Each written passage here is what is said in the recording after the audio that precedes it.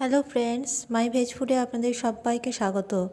আজকে বেগুন কাসুন্দি রেসিপিটি আপনাদের সাথে শেয়ার করব।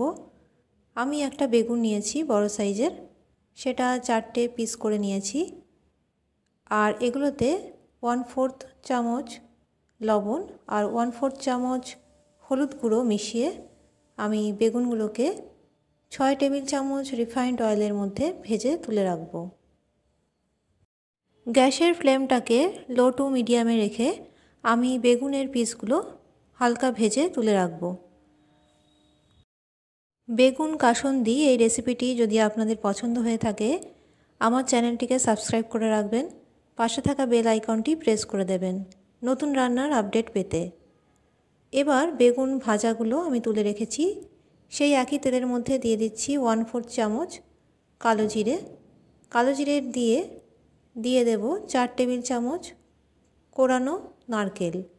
আর দুটো কাঁচা লঙ্কা এরকম চিড়ে রেখেছি, সেটা দিয়ে দিলাম। দিচ্ছি এক চামচ লবণ, হাফ চামচ হলুদ গুঁড়ো। সব উপকরণগুলো দিয়ে এবার ভালো করে এক মিনিট নাড়ব। এখানে বলে রাখি, আমার চ্যানেলের সব রেসিপি নিরামিষ।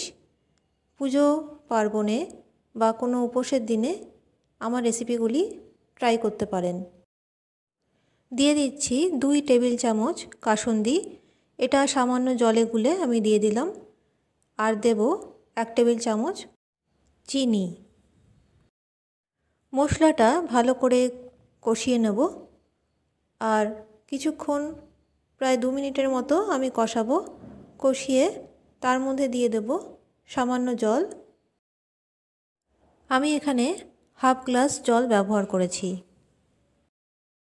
এই রেসিপিটি ভাত, রুটি, পরোটা সব কিছুর সাথেই খেতে পারবেন।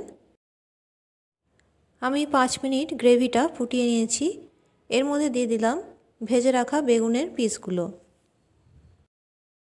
কিছুক্ষণ নাড়িয়ে চাড়িয়ে একটা ঢাকা দিয়ে আমি ঢেকে রাখব পাঁচ মিনিটের মতো।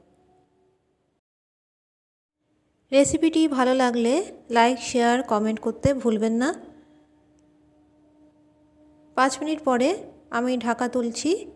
দেখুন, আমার বেগুন কাসুন্দি রেসিপিটি সম্পূর্ণ কমপ্লিট হয়ে গেছে। এখানে আমি গ্যাসের ফ্লেমটা অফ করে দেব। আশা করি রেসিপিটি আপনাদের সকলের কাছে পছন্দের হবে।